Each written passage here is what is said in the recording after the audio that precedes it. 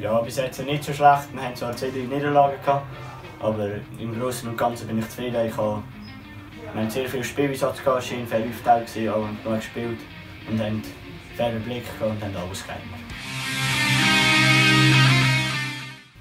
Sven. Ich.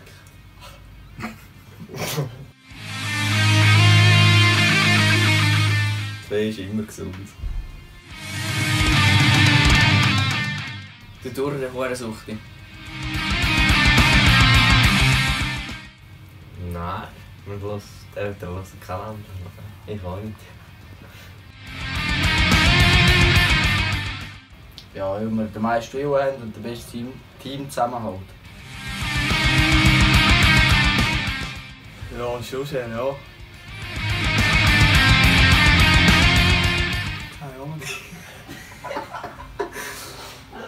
Ja, ich, weil ich nachnehme, treffe ich etwas besser.